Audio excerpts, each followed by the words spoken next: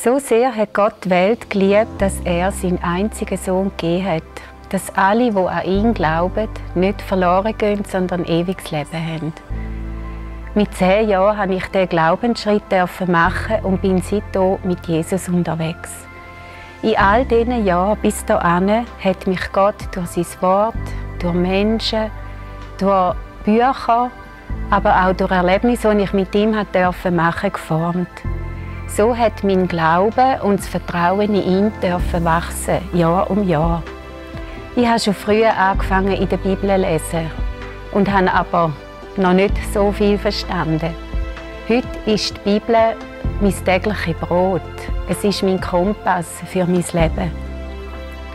Dort begegnet mir Gott ganz persönlich. Er wird für mich sichtbar. Ich bin herausgefordert, ihm zu vertrauen, ihn ernst zu nehmen und nicht an dem zu zweifeln, was er sagt. Nur so kann sein Reden in meinem Leben auch wirksam werden. Gerade der Vers, wo es heißt, all eure Sorgen werfet auf ihn, den habe ich manchmal durchbuchstabiert. Ich habe das ganze Sorgenpaket gepackt und Jesus wirklich vor die Füße angeschmissen. Erst dann hat Jesus eigentlich können wirken und hat er können in meinem Leben das vollbringen, wo ich schon lange darauf gelangt habe. Und ich habe gestaunt, was Jesus gemacht hat daraus. Das sind für mich großartige Ermutigungen in meinem Leben, wo auch mein Gebetsleben beeinflusst und prägt haben. Der heilige Gott lässt mir zu. Ich bin ihm wichtig, er nimmt mich ernst und er hat immer einen guten Weg für mich parat.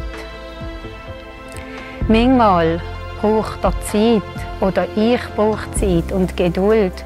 Es geht nicht immer sofort vorwärts. Oder er wählt einen Weg, den ich jetzt nicht unbedingt hätte gehen wollen.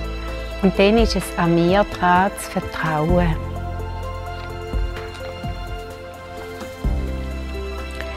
Je mehr ich mich auf Gottes Verheißungen stütze, umso gelassener darf ich da und da werden. Das heisst aber nicht, dass mich nichts mehr durchschüttelt. Aber ich weiß, wo dass meine Hilfe zu finden ist. Sie ist bei Jesus. Ihm ist alle Macht im Himmel und auf Erden. Weil mir das Bibel lesen und das Reden mit Gott so wertvoll geworden ist, hat die Zeit einen festen Platz in meinem Alltag bekommen viel zu schnell sind, nimmt sonst anders den Platz ein und der Tag läuft mir davon. Besonders wertvoll ist für mich auch der Glaube mit anderen zu teilen. In der Familie, im Hauskreis, in der Gemeinde und mit Freunden. Wir lernen voneinander und miteinander. Wir teilen Freude und Leid und einander so auf dem Weg zu unserem grossen Ziel helfen und begleiten.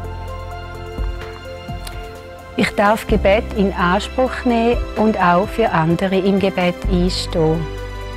Teil von einer Gemeinde zu sein, mitzuschaffen und mitzutragen, ist für mich sehr wertvoll und bereichernd. An Gott zu glauben, habe ich noch keinen einzigen Moment in meinem Leben bereut. Es passiert im Moment eher das Gegenteil. Es wird immer spannender, auch wenn es mit einer Herausforderung zu tun hat. Dort drin darf ich aber auch wachsen und ihm ähnlicher werden. Ich möchte zum Schluss noch einen großartigen Vers aus dem Epheser lesen. Ich bete, dass ihr erkennen könnt, wie übermächtig groß seine Kraft ist, mit der er in uns, die wir an ihn glauben, wirkt.